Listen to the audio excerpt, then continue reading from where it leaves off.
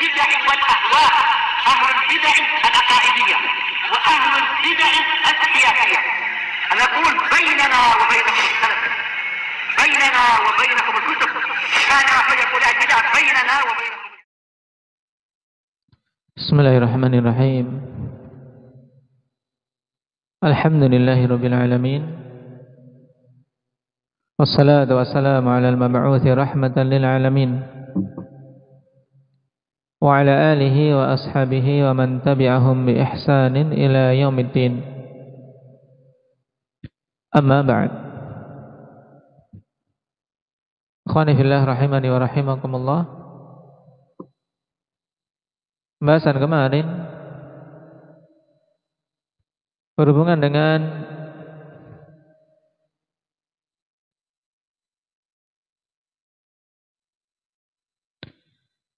pemberian contoh-contoh dari istilah-istilah baru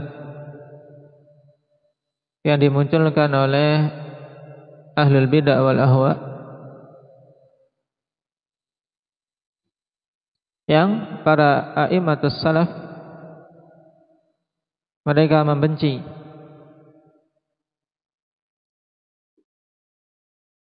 Istilah-istilah tersebut Bukan karena itu istilah yang membawa makna yang sahih tapi karena padanya ismal yang menjadikan banyak manusia terperangkap dalam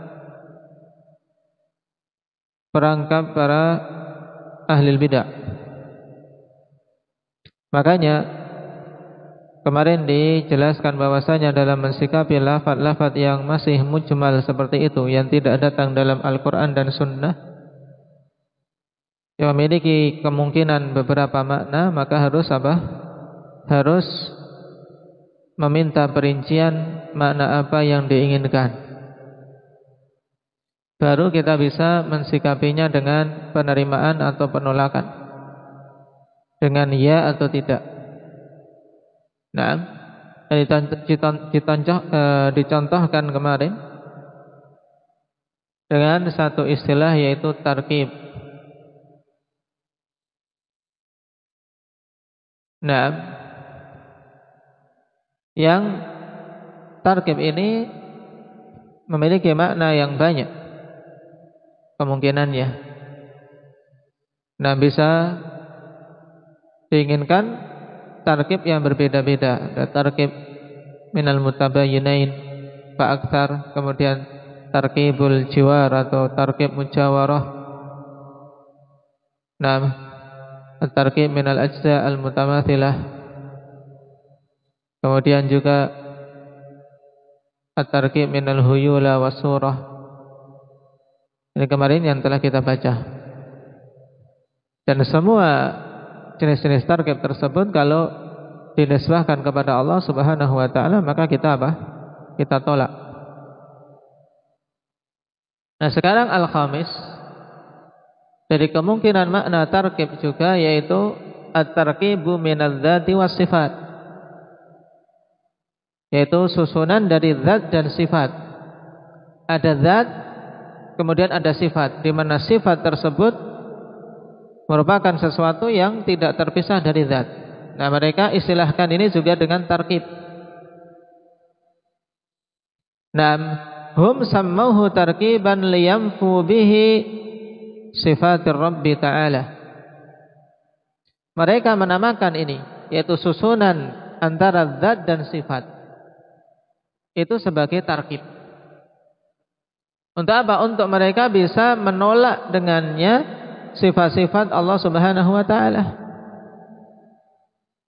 Wa hadha istilahun minhum la yu'rafu fil lughati wala fi isti'mali syari'. Dan ini istilah dari mereka yang tidak dikenal dalam bahasa, tidak pula dalam penggunaan pembuat syariat ini, yaitu Allah Subhanahu wa taala. Maksudnya apa? Di dalam bahasa tidak diistilahkan tarkib yang seperti itu, sebagaimana pula dalam syariat tidak diistilahkan dengan tarkib. Falasna nuwafiquhum ala hadhihi tasmiyati wala karamah. Maka kita tidak mencocoki mereka dalam penamaan ini dan tidak ada kemuliaan padanya. Dalam artian tidak perlu kita kubris, tidak perlu kita nah, berikan perhatian tentang penamaan istilah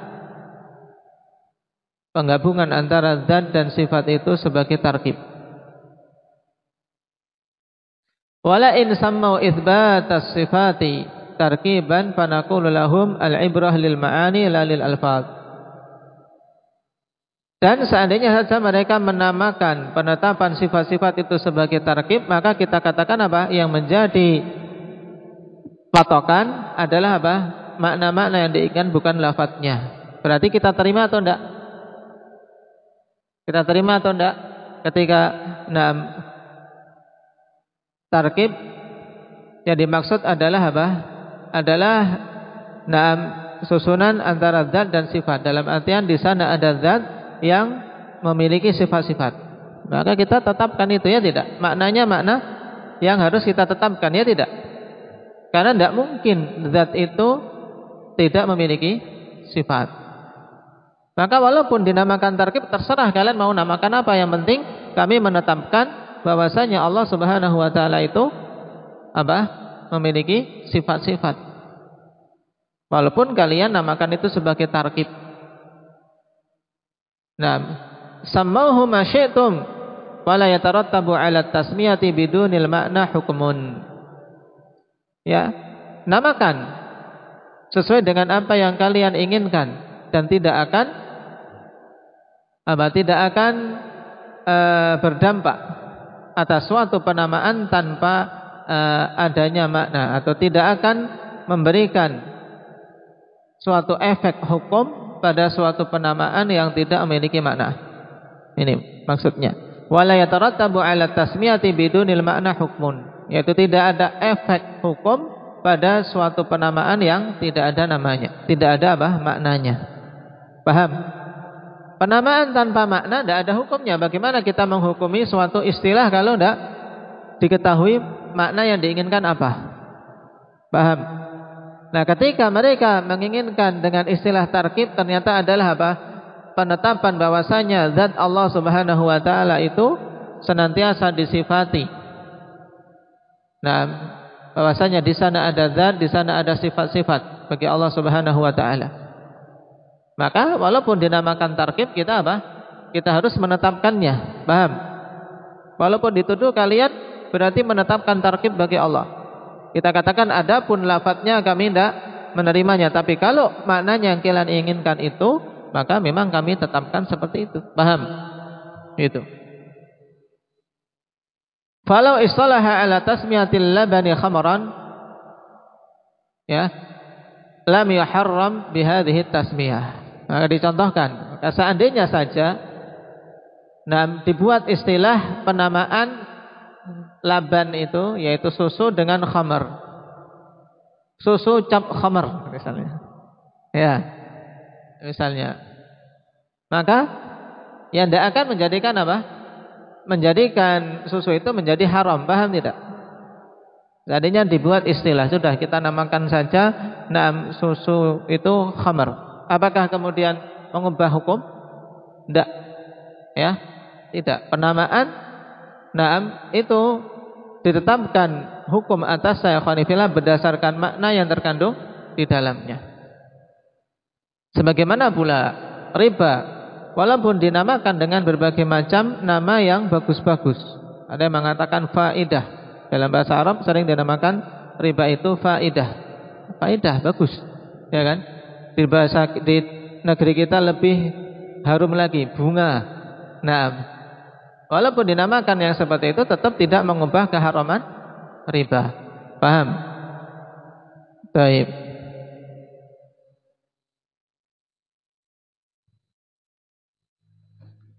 Demikian pula hal-hal yang lain. Nah,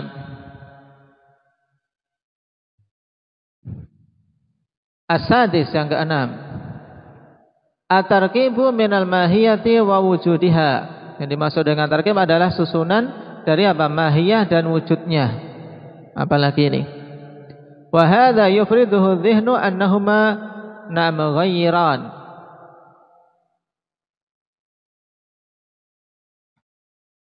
Hal ini, kawan, adalah sesuatu yang diangan-angankan dalam benak yang di apa taruhlah ada dalam benak itu keduanya itu sesuatu yang apa yang berbeda antara mahiyah yaitu mahiyah itu hakikat suatu perkara.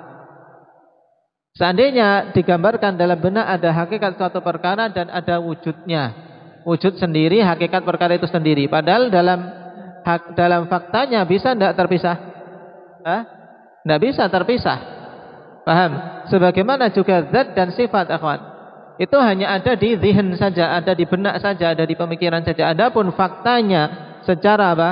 Secara konkret nah tidak akan ada zat yang terpisah dari sifatnya. Paham? Karena setiap zat itu punya sifat. Demikian pula tentang Allah Subhanahu wa taala tidak akan mungkin terpisahkan antara zat dan sifat-sifatnya. Cuman ini sesuatu yang di nah, dipikirkan dalam benak. Nah, seandainya di sini mahiyah dan wujudnya itu sesuatu bisa dipisahkan, maka itu disebut tarkib menurut mereka. Wa amma fil khariji hal yumkinu dzatun mujarradatun an wujudiha wa wujudiha wa wujuduha mujarradun anha. Adapun fil kharij yaitu fil kharij yaitu dalam apa? Dalam fakta nyatanya. Ya, dalam kenyataannya. Nah, bukan hanya di benak. Kalau di benak kita bisa memikirkan terserah mau pikir apa. Manusia bersayap sepuluh. Tapi kan adanya cuma di di benak saja, di pikiran saja. Faktanya ya tidak ada. Iya kan? Nah ini. Nah, contohnya di sini. Nah, wa amma fil adapun dalam kenyataannya hal yumkinu dzatun mujarradatun an wujudiha wa wujuduha mujarradun anha hadza muhal. Apakah mungkin suatu zat itu kosong dari wujudnya? Zat itu mahiyahnya, hakikatnya. Itu apa? Itu terpisah dari wujudnya. Dan wujudnya itu ya kosong tidak ada naam zatnya, terpisah dari zatnya maksudnya. Ini zat, ini wujudnya, tidak bisa. Ini sesuatu yang muhal. Nah, inilah apa? Kerjaannya ahlul kalam kayak gitu. Nah, fatara ahlal kalami yaqulun hal dzatur rabbi wujuduhu am ghairu wujudih. Nah, engkau lihat ahlul kalam mereka mengatakan apakah zat Allah itu wujud Allah ataukah selain wujud Allah? Ya, pertanyaan-pertanyaan beginian mereka munculkan. Seperti dulu, nah, hal ya hal sifat ya Taib sifat itu apa? Zatullah atau ghairu ghairullah, ya kan? Apakah sifat itu zat atau selain zat? Itu juga kita bahas di depan. Walahum fi dzalika khabtun katsirun. Ya. Dan mereka dalam masalah ini kebingungan dengan kebingungan yang banyak. Naam. Jawaban-jawaban yang kuncang yang tidak Nah, tidak bisa disinkronkan antara pemuka-pemuka mereka sendiri ya kawan. Taib wa amsaluhum tariqatun uh, wa amsaluhum tariqatan ra'yul waqfi wasyakki fi dzalik. Dan yang paling dekat kesamaannya dengan mereka dari sisi jalan ya wa amsaluhum tariqatan Tarekotan sebagai apa ini? Ahmad Tamiz. Ya. Atau amsaluhum itu yang paling bagusnya apa? Afdaluhum. Seperti dalam ayat sumal amsal uh, dalam hadis sumal amsal fal amsal. Wa amsaluhum tariqatan ra'yul waqfi wa syakki fi dzalik dan yang paling bagusnya dari mereka dari sisi metode yang ditempuh adalah apa? Pemikiran untuk tawakuf dan ragu-ragu dalam hal itu. Intinya sudah tawakuf saja. Ragu. Nah ini paling mendingnya dalam artian dari sekian banyak ahlul kalam yang paling mending ya yang mereka apa? Mereka tawakuf. Tidak mengatakan iya, tidak mengatakan tidak. Ketika ditanya tentang apa? Tentang hal dzatur rabbi wujuduhu am ghairu wujudi. Ya, yang paling mending apa? tawakuf, sudah bingung, tidak tahu saya. Kemudian yang lainnya syak dalam masalah itu. Karena memang pertanyaan yang tidak butuh sebenarnya tidak butuh ditanyakan sebenarnya. Wa kam yazulu bil istifsari wa tafsiri kathirun minal aldalili wal abatil dan betapa banyak hilang dengan sebab istifsar meminta penafsiran dan pemerincian kebanyakan eh, perkara-perkara yang banyak dari hal-hal yang menyebabkan kesesatan dan kebatilan-kebatilan. Nah, inilah pentingnya apa? Istifsar dan tafsir ya dalam banyak hal apalagi kalau berbicara dengan mereka. Kapan saja antum temui istilah-istilah atau suatu hal yang memiliki beberapa kemungkinan dan kita tidak bisa memastikan, kasih apa? Kasih perincian. Seandainya yang dimaksud ini demikian, seandainya yang dimaksud itu demikian. Sehingga apa? Tidak menimbulkan kerancuan. Ini contoh. Berarti nah makna tarkib memiliki makna yang banyak, ikhwan. Jadi makna yang hak nah kalau tarkib yang dimaksud adalah apa?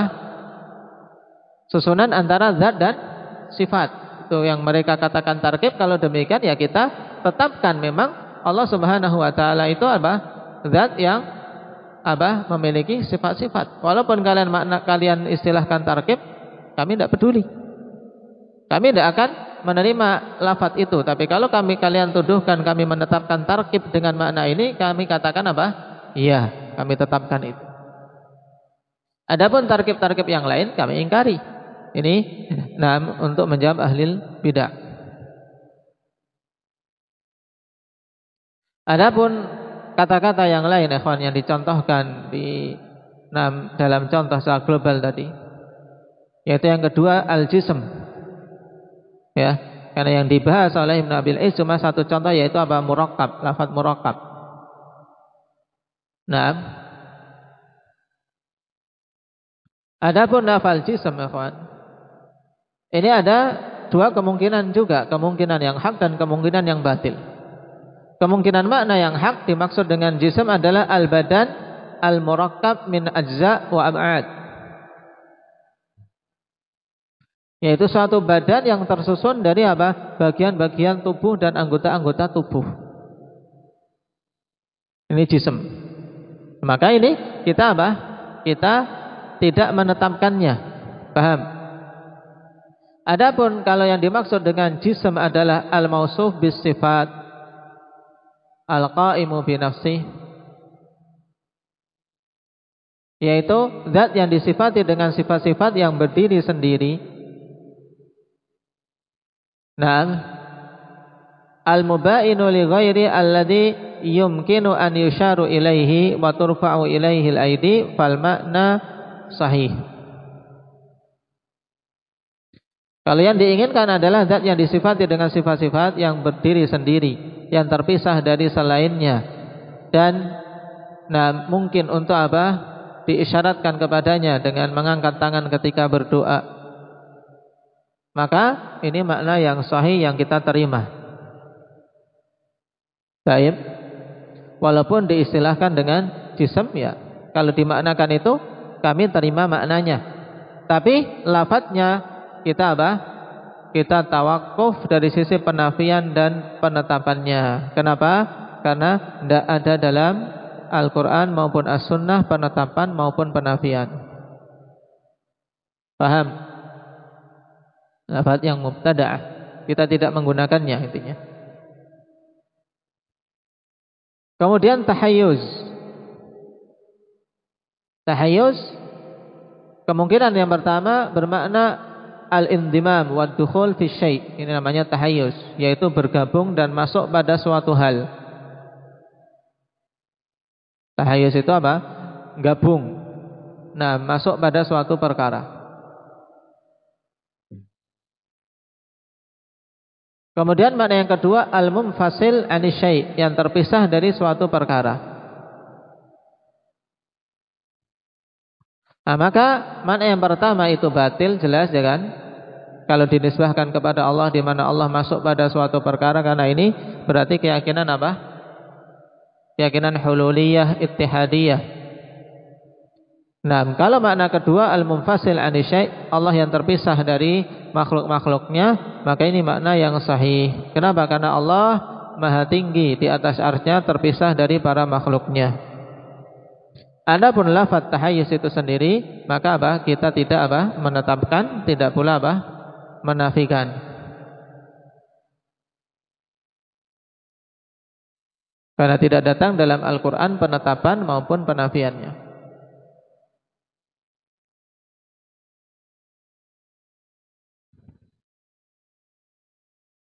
Kemudian al-jauhar. Al-jauhar mana yang pertama, ikhwan bermakna al-mutahayyiz. Masih ada hubungan dengan yang sebelumnya. Al-mutahayyiz. Yaitu yang bergabung masuk pada perkara lain. Itu jauhar. Makna yang kedua bermakna al-jauhar al-fard. Al-jauharul fard. Maksudnya apa? Suatu bagian yang tidak mungkin terbagi-bagi lagi. Yang tidak bisa diindra, tidak pula bisa dilihat. Tidak bisa menerima pembagian.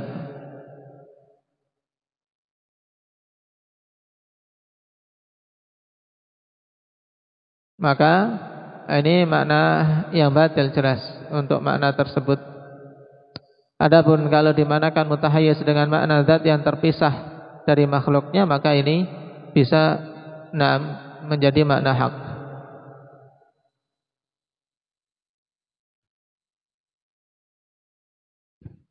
Kemudian jihad. Nah jihad telah kita lewati dulu. Kalau yang dimaksud ini maknanya apa? Dimaksud itu maknanya apa? Ada berapa kemungkinan makna jihah, uh, Rifki? Hah? Apa?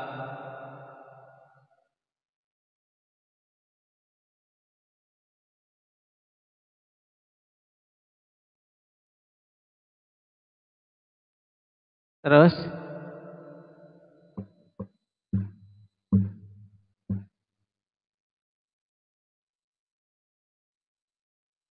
Terus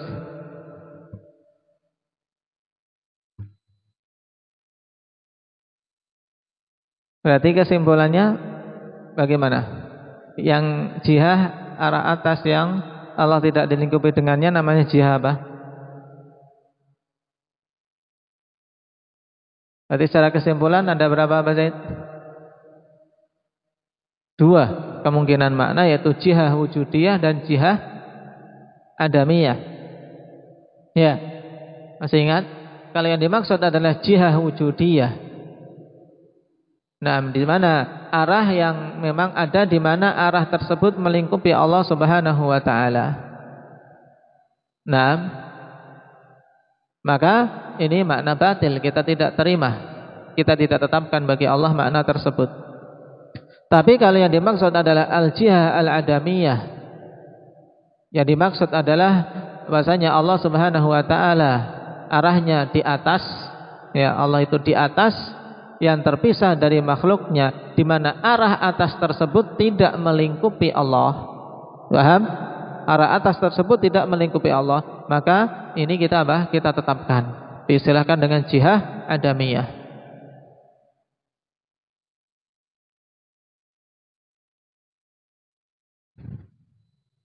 Wal hayyiz ini sama dengan makna tahayyuz. Al hayyiz ya apa maknanya tadi yang pertama yang batil? Hudzaifah Kalau bernama bermakna apa? Hah? Apa tadi telah pada makna tahayyuz?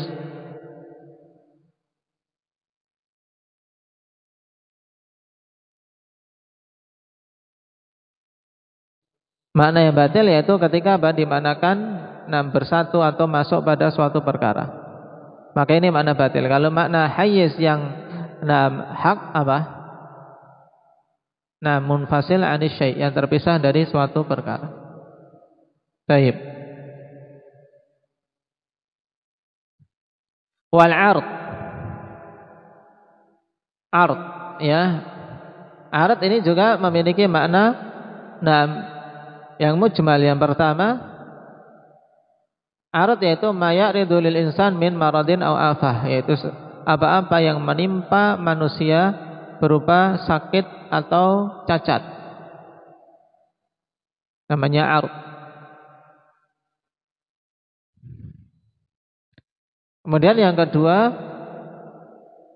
makna maqama bi ghairihi wa la yaqumu bi nafsihi yaitu apa saja yang enam tegak dengan sebab yang lainnya dan tidak bisa berdiri sendiri.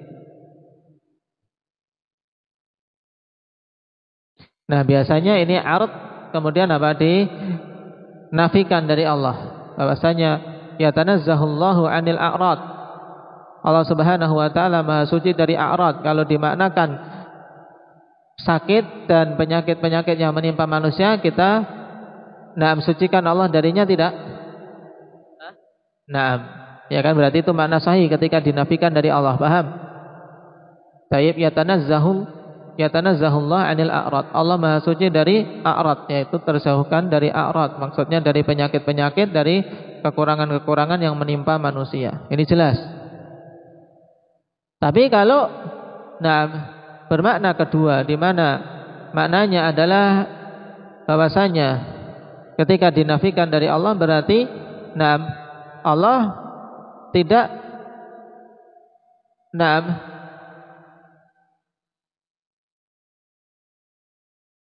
maka bi ghairi wa yaqumu bi nafsi. Berarti Allah tidak bisa bah Nah, ketika dinafikan nafi-nafi jadinya isbat, ya kan? Penafiannya berarti ketika Allah tegak dengan sebab yang lainnya dan tidak naam wa bi nafsi dan dia apa? Tidak pula nam bisa berdiri sendiri, ya. Allah tidak uh, apa tadi maknanya? Arad makna yang kedua maqama bi ghairihi wala yaqumu bi nafsi. Itu apa saja yang bisa tegak dengan sebab yang lain dan tidak bisa berdiri sendiri. Nah, kalau makna ini kita nafikan atau tetapkan bagi Allah? Hah? Kita? Hah? Qama bi. Berarti maqama kita nafikan ya kan? Kita nafikan dari Allah. di mana Allah tidak apa tidak ada padanya sifat-sifat maka ini batil maka kita tidak menetapkan hal tersebut kita nafikan nah ini intinya ini istilah-istilah batil istilah-istilah mubtada yang diadakan oleh ahlul bidah ikhwan yang merupakan kata-kata yang mujmal tapi butuh untuk kita pahami tadi makna-maknanya untuk tidak terjebak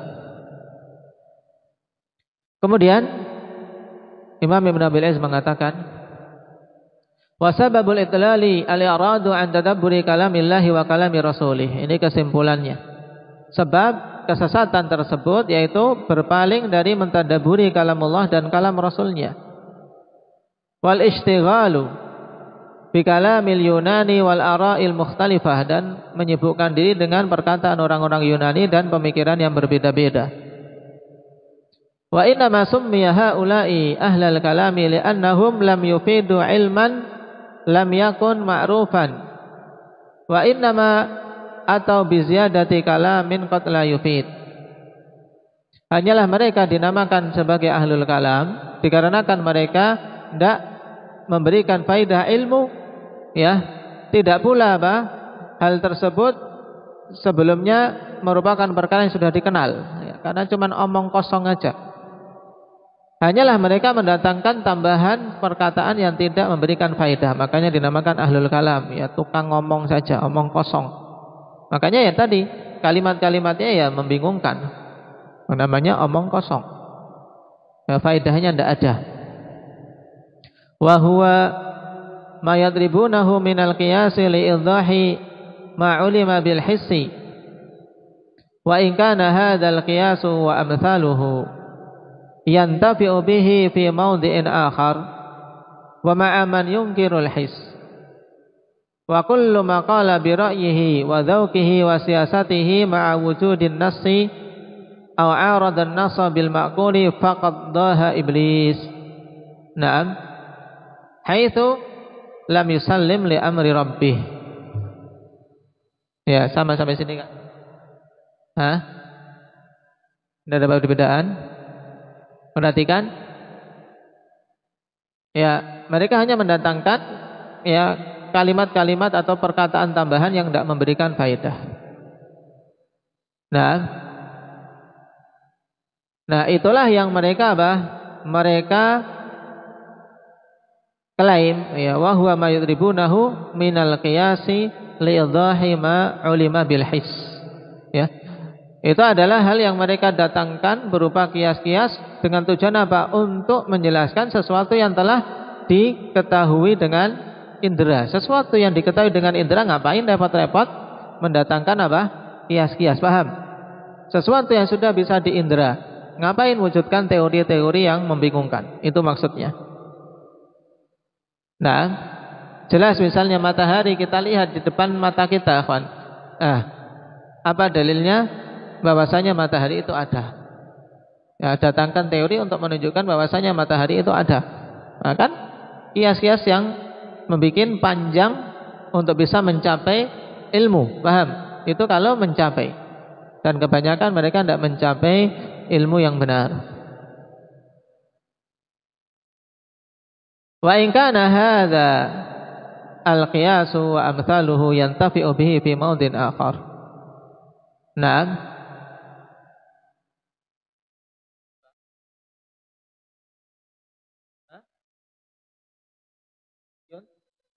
Yuntafa'u. Taib. Wa in kana hadzal qiyas wa amsal nah wa in kana hadzal qiyas wa amsaluhu yuntafa'u nah, diberi ambil faidah labas. Walaupun kias dan nah yang semisal ini, kias ini dan yang semisalnya itu bisa diambil faidah pada nah tempat yang lain yaitu pada kondisi yang lain Wa ma'aman yungkirul his. Dan bisa diambil faedah bersama dengan orang-orang yang mengingkari sesuatu yang nyata ya. Sama-sama orang nah pandirnya akhirnya butuh kias-kias yang demikian. Orang-orang yang mengingkari sesuatu yang yang bisa diindra ini butuh untuk didatangkan kias-kias tersebut. Memang ada sedikit faedahnya di sini. Ya cuman nah dari sisi dorornya sangat banyak dan syariat akhwanifillah melihat kepada sesuatu yang apa mendominasi, bukan sesuatu yang naam nadir padanya, sesuatu yang nah minoritas pada perkara tersebut. Nah, ini kemudian kalimat bagus dari Ibnu Abil Iz wa kullu man qala bi ra'yihi wa dzauqihi wa siyasatihi ma'a nas dan setiap orang yang mengatakan dengan pemikirannya dan perasaannya serta siasatnya. Ya. bersamaan dengan adanya nas. Dan nas bil ma'qul. Atau siapa saja yang ya membantah nas dengan naam akal-akalan. Faqad dhaha iblis. Maka sungguh dia telah apa? Menyamai iblis. Dhaha ya ayat syabaha. Yaitu menandingi menyamai iblis dari isi mana haitsu lam yusallim li amri rabbih di mana dia tidak menerima perintah Rabbnya padahal jelas itu perintah dari Allah tabaraka wa taala. Bal qala ana khairum minhu khalaqtani min nari wa khalaqtahu min tin. Bahkan dia mengatakan aku lebih baik darinya. Engkau ciptakan aku dari api dan engkau ciptakan dia dari tanah. Api kan lebih bagus dari tanah ini kiasnya iblis. Ya, pemikiran iblis. Tidak tunduk terhadap perintah Allah. Wa qala ta'ala man yuti'ir rasul faqad ata'a Allah wa man tawalla fama arsalnaka 'alaihim hafidha. Siapa saja yang taat kepada Rasul maka sungguh dia telah taat kepada Allah dan siapa saja yang berpaling maka sungguh nah maka tidaklah kami mengutusmu atas mereka nah untuk menjadi apa? menjadi pengawas, menjadi penjaga tapi sebagai mubalik saja. Wa qala ta'ala qul in kuntum Allah fattabi'uni yuhibbukumullahu wa yaghfir lakum dzunubakum wallahu ghafurur rahim. Katakanlah bila kalian mencintai Allah, ikutilah aku yaitu mengikuti Rasul sallallahu alaihi wasallam, maka Allah akan cintai kalian dan ampuni kalian. Ampuni untuk kalian dosa-dosa kalian dan Allah itu Ghafurur Rahim. Wa qala ta'ala fala wa rabbika la yu'minuna hatta yuhaqqimuka fima shajara bainahum thumma la yajidu fi anfusihim haraja mimma qadaita wa yusallimu taslima. Ini ayat-ayat yang pokok ikhwan tentang apa? Wajibnya tunduk kepada ketetapan Allah dan Rasulnya. Sampai-sampai disumpahkan di sini. Sungguh demi Rabbmu mereka tidak beriman sampai mereka berhukum kepadamu pada hal-hal yang mereka berselisih padanya. Kemudian mereka tidak mendapati dalam jiwa-jiwa mereka rasa berat sedikit pun terhadap apa yang kau tetapkan dan mereka betul-betul menerima dengan sebenar-benar penerimaan. Aqsama subhanahu binafsihi annahum la yu'minuna hatta yuhaqqimu nabiyahu sallallahu alaihi wasallam wa yardau bihukmihi wa yusallimu taslima. Allah bersumpah dengan dirinya sendiri bahwasanya mereka tidak beriman dengan keimanan yang sempurna sampai berhukum kepada nabinya dan ridho dengan hukumnya dan betul-betul menerima dengan penerimaan yang sempurna. Nah ini inti untuk kita bisa selamat. Nah, dan paragraf terakhir ini ikhwani fillah paragraf bagus. Nah, untuk seorang apa? Seorang betul-betul yakin bahwasanya untuk seorang selamat ya harus tunduk kepada apa-apa yang datang dari Allah dan Rasulnya tidak membantah, tidak pula memprotes. Nasallallahu taufiq wassadad walhamdulillahi rabbil alamin.